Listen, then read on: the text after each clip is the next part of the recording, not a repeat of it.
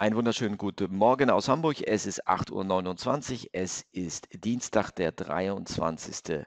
Februar. Mein Name ist Carlos Martins und Sie hören uns live aus dem Traders Club Trading Raum. Wir bereiten uns auf unseren morgendlichen DAX-Trade vor. So, wie sieht es aus? Wir haben aktuell, sind wir direkt in der Mitte, 14.000, das ist die Big Number. Dort oben, da sind wir dichter dran. Das heißt, wir spekulieren jetzt mal auf die Big Number, bleiben bei diesem Template und schauen uns dann, denn das ist das Template von den Vola-Boxen an. Wir hatten zur frühen Abendstunde eine 12er Box, die dann direkt ausgebrochen ist. Wir hatten dann um 14 Uhr eine 15er Box und ihr wisst ja mittlerweile, alle Boxen unter 30 haben eine sehr hohe ähm, ja, Wahrscheinlichkeit, dass die in einem sehr zügigen an, äh, Bereich dann aus dieser Box raustreten. 22, 27, 15, alles das hätte man treten können. Und gestern früh hier auch die 28er Box, auch die wäre sauber in den Tech Profit gelaufen. Also Big Number nach oben, es sei denn, der Markt bildet sich eine Blue Box, dann wechseln wir 21 Punkte aktuell die Range für die ersten 30 Minuten. Da war gestern ein bisschen mehr mit ähm, los. Schauen wir mal. Wir wechseln auf den linken Chart und sehen dort die Vola-Boxen von gestern. Ja, ich gehe mal hier auf den 5-Minuten-Chart, dann sehen wir das besser. Das haben wir hier gestern getradet, die äh, Bereiche. Und dann war eigentlich nicht so viel gestern bei den Vola-Boxen. Wie kommt die Vola-Box heute rein? Die Vola-Box heute bei 13.989. Ja, ich zeichne das mal ein, auch für alle, die die Vola-Boxen nicht haben, ja, die in der Übungsphase sind oder wie auch immer, rechte Maustaste ähm, und dann haben wir 89 und dann 75 und ihr könnt die Farbe einstellen, könnt ihr sie einstellen, ähm, könnt ihr rote einstellen, könnt ihr grün einstellen, ja, könnt Racing Forest Green machen, ja, da wird die Box reinkommen. Carlos, kannst du das mal wiederholen? Ja, 13, 9, 89. Ihr braucht euch ja nur eine Zahl merken und dann geht es 15 Punkte runter. Okay, das wird voraussichtlich die Box sein, also 89. Wenn ihr das äh, Bild kleiner machen wollt, genau, 89 zu 75. Und dann bereiten wir uns auch gleich vor und gehen jetzt in die Tagescharts rein, wie jeden Morgen und fangen an bei Silber 2802, aktuell in Silber und gehen einmal in den DAX rein. DAX hat das Short-Signal gestern bei den amerikanischen Märkten, Technologiebörsen nicht bestätigt, also ist wieder ein Stückchen zurückgelaufen. Tagesbasis, Weekly-Basis, alles ähm, in Ordnung.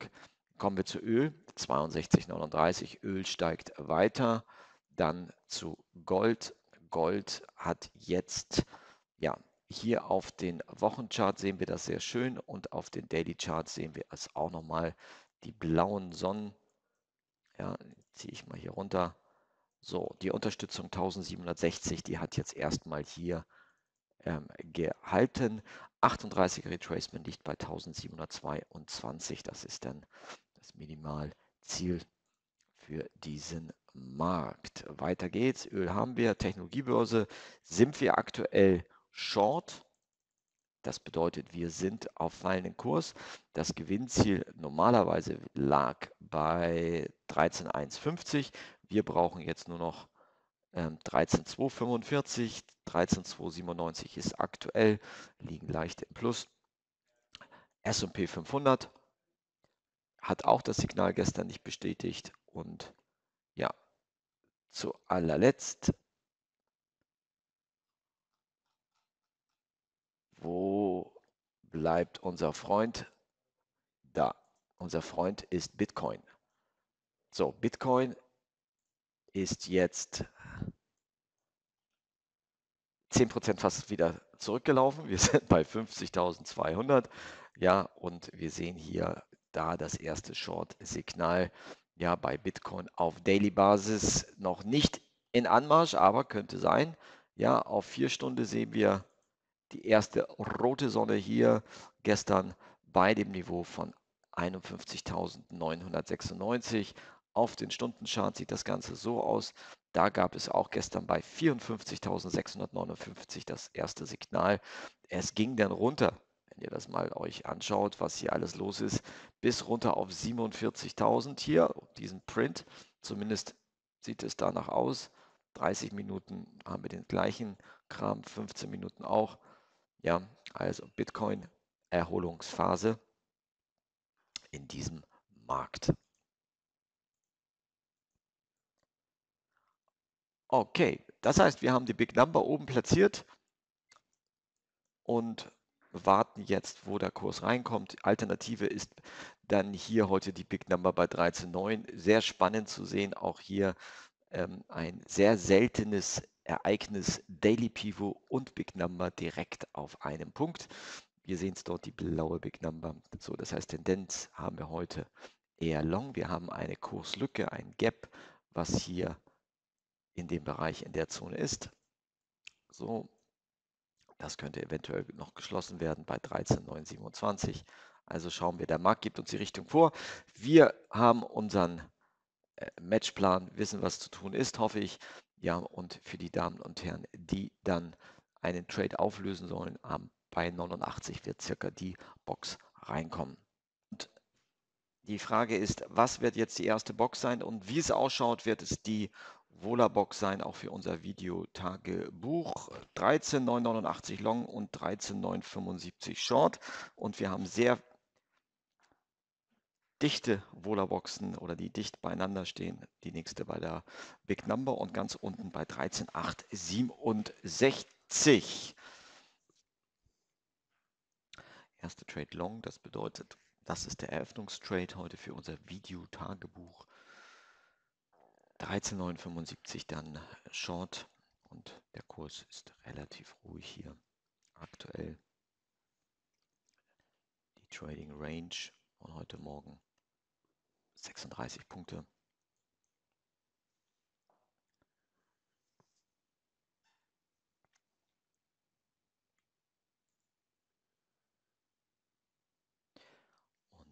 Nur zur Information, der erste Trade für heute, das heißt das Tagesziel, unsere 0,10 ist erreicht. Wir haben den Schweizer Franken Japanisch Yen ins Gewinnziel gebracht. Also Schweizer Franken Japanisch Yen. Heute Tagestrade sind wir raus. Ja, wir sehen, dass diese kleine Bewegung hat gereicht in diesem Markt, weil wir besser reingekommen sind heute Morgen und sind raus. Tagesziel ist somit erreicht. Das ist schon mal ein gutes Gefühl. Britisch Pfund Australdollar hingegen, der entwickelt sich aktuell erstmal in die Gegenrichtung, aber da haben wir ja auch unseren sogenannten Matchplan. Wann steigen wir aus oder gehen in ein Gegensignal? Diese beiden Alternativen gibt es ja und da warten wir noch. So, jetzt sehe ich gerade in meinem Konto, wir sind short angepasst und gehen erstmal in Richtung Gap Close. Wir wollen nicht zu gierig werden und muss beim nächsten Trade meine Stop-Loss-Marken nochmal koordinieren. Geh kurz mal zu Christoph, der wird wahrscheinlich jetzt auch im Markt sein. Genau, Short ausgeführt. Erstes Level hier gleich erreicht. Wir müssen bis zum dritten im ersten Trade das Gap damit also auch nahezu schließen, um hier ins Ziel zu kommen.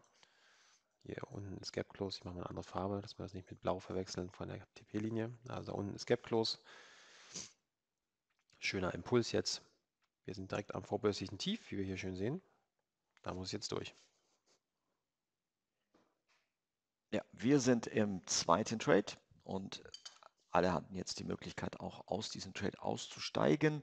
Der Trade war also im Gewinn, auch für unser Videotagebuch, aber wir lassen den jetzt noch laufen gucken mal, ob wir die 50 wie Butter durchjagen und Richtung Gap Closing laufen. Ja, das wird sich jetzt gleich zeigen. 64, 63 jetzt gehandelt. 9 Uhr 6 aktuell. Und für die Damen und Herren, die Hedge-Auflösung haben, 20,5 Punkte. Also Andreas, du müsstest mit einem kleinen Umweg, also mit der Gegenorder raus sein jetzt im zweiten Versuch. die Hedge-Auflösung ist ja eine 15er Box, obwohl die Vola-Box heute, ihr seht es bei mir, eine 13,95er Box ist. Ja, das kann immer mal vorkommen. 58, 59, 0,01 sind wir jetzt gerade vorne.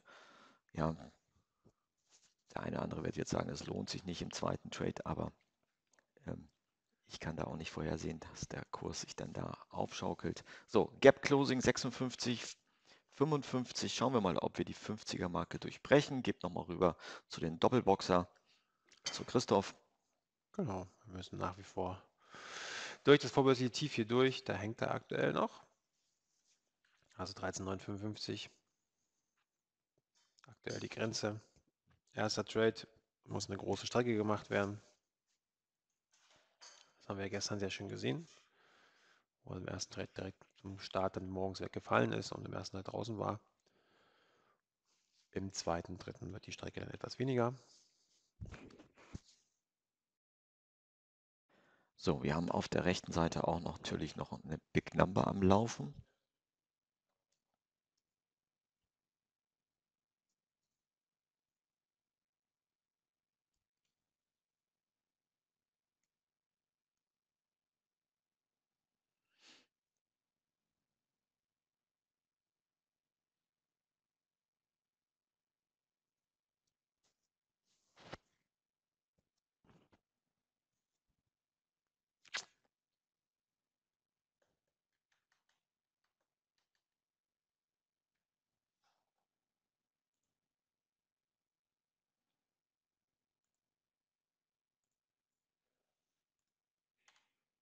Die Vola-Box, das spielt keine Rolle, ob ich die auf fünf Minuten, eine Minute, die sind ja meistens gleich.